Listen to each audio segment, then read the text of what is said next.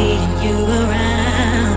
Could you be visiting? Are you new in town? Yeah, whatever the case, I'm feeling you right here and right now.